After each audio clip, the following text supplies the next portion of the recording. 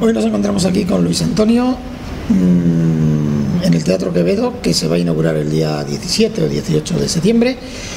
Y vamos a estar una pequeña conversación en el que nos explique cómo ha surgido la idea del, del, del teatro y cómo se ha metido en este, en este lío que, que, que, en principio yo creo que es algo bastante complicado.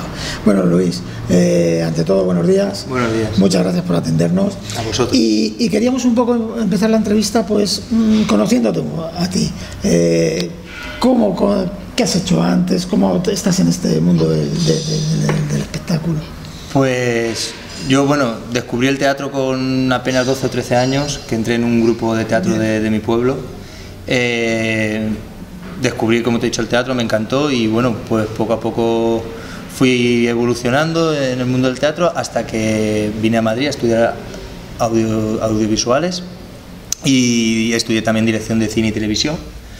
Y a partir de ahí es donde ya entro en el mundo profesional, tanto de, de, del cine como de, del teatro. Me he inclinado más hacia el teatro en los últimos años, me ha dado mejores frutos y, y esa es en resumidas cuentas mi trayectoria. Tu trayectoria y has cogido el mundo del teatro, como tú dices, estás inclinado un poco más. ¿Por qué? Porque eh, le has encontrado más fácil salida o porque en un en su principio te gustaba más. A ver, siempre el teatro tiene el encanto ¿no? de, del directo, de, lo, de los nervios que nunca pierdes. El cine y la televisión también me apasiona mucho, que es lo que yo vine a estudiar, pero como tú dices, pues el, el, teatro lo encontré una salida mucho más rápida para la edad que tenía, mucho más directa y una salida hacia mi futuro más. Con más esto rápido. entiendo una cosa, que en principio en teatro ya has hecho algunas obras, ¿no? Uh -huh. O sea, que ya tienes un pequeño bagaje, ¿no? Que no en televisión estuve con, con Jesús Hermida, unos uh -huh. meses que empecé con unas prácticas, terminé luego de las prácticas, entré en plantilla en BO7 para el mundo digital. Es lo más así que en televisión.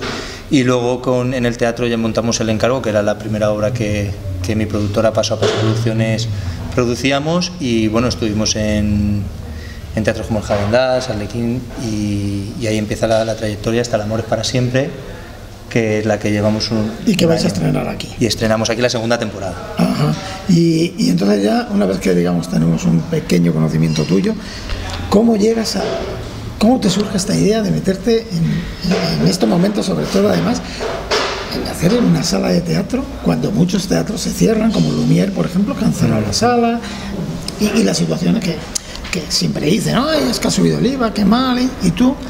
Hombre, al final que cierren, que cierre el garaje Lumière o tras, traspasen el Arlequín, son cosas que no tiene que mirar uno para atrás. El, cada proyecto es uno nuevo, con una historia nueva y un comenzar nuevo. Y que un teatro cierre no significa que, que vayan a cerrar todos. Igual que puedan cerrar una tienda de ropa o de zapatos, mm, sí, no significa que mañana no abren. Exactamente. exactamente. Sí, sí. Entonces eso no, no, no, influye, no, me influye, no quiero pensar en ello. Es un proyecto totalmente nuevo en una zona que creemos que es privilegiada y, y puede ser buena. Esto surge con, como estamos hablando antes, con El Amor es para siempre, después de, nuestro de nuestra primera temporada, que hemos tenido muy buena acogida por el público. Pensamos en, en inaugurar una sala donde poner las producciones de paso a paso producciones lógicamente luego te encuentras con gente y con otras propuestas por el camino que te parecen igual o mejor de interesantes y, sí, y, vas, no, y vas abriendo el abanico. Claro, no, y además tampoco un teatro puede estar abierto solo, ¿no? Para, un, para una compañía, para una claro compañía, que no. Pero sería fue la excusa. fue la excusa, ¿no? Una excusa, la verdad que es, es, es arriesgada. Y, y, bueno, y una vez que ya decides meterte eh, en, en, poner en pie un teatro, eh, ¿qué dificultades te has encontrado?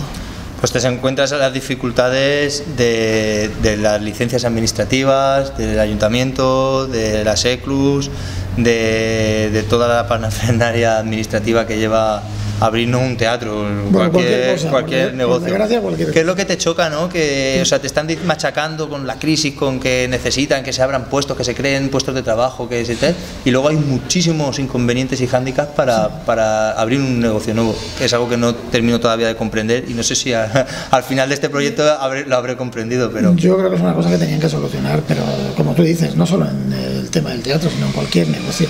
Entonces, cualquier, cualquier emprendedor que va a hacer algo, lo que más encuentra son problemas más administrativo, más que lo que es que de desarrollar la idea. Cosa que Más que de conseguir financiaciones, Claro. desarrollar la idea, conseguir ayudas, es que al final todo se basa en, en- en cosas que solucionas tú por ti mismo, pero lo que está ajeno a ti, que ya depende de dependencias públicas, está muy mal, muy mal, muy mal, muy Con mal. esto damos un toque, una llamada, a ver Sí. si solucionan un poquito. Sí, porque habemos mucha gente porque- joven que, que amistades que yo tengo que estarían encantados de, de abrir un negocio, mm, ya sea un lavadero de coches, Sí, sí, pero que se encuentran con, con problemas que consideramos que, que no son apropiados para los tiempos que corren.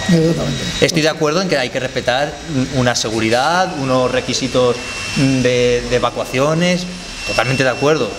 Porque luego hemos visto casos Sí, muy impactantes como nos han pasado hace poco, ¿no? Lo de la sala arena. Pero no precisamente por cuestiones de que faltaran cuestiones Es- administrativas. exactamente. Por fallos de. Por fallo luego de, de organizar. De- claro. Entonces luego y luego ves a gente que les pasan esas cosas y siguen montando otras y tú que vienes de atrás nuevo, yo creo que nos deberían de dar una oportunidad a la gente joven a ponernos facilidades que se abrieran más negocios de los que se De abren. los que se abren, exactamente, yo creo que sí. Una, una parte importante que creo yo es, tú esto lo has empezado mm, tú mismo, eh, en principio, o has tenido ayuda de la administración, o has tenido ayuda de alguien. o- ¿esto En principio es, una, privado es, una- o- es un proyecto privado. No hay subvenciones de momento. Justo, justo ahora, una vez ya que está prácticamente acabado el proyecto, salen subvenciones para jóvenes emprendedores. Y bueno, intentaremos recuperar la amortización en el próximo No, año porque, porque no, puede ser porque una ayuda muy los buena. gastos son muchos. Sí, sí, sí, sí. Eh, yo la verdad que personalmente te admiro Gracias. porque creo que y que necesitábamos mucha gente como tú para que no solo en el teatro sino en todo Que muevan lo poco que tengas, hay que moverlo. hay que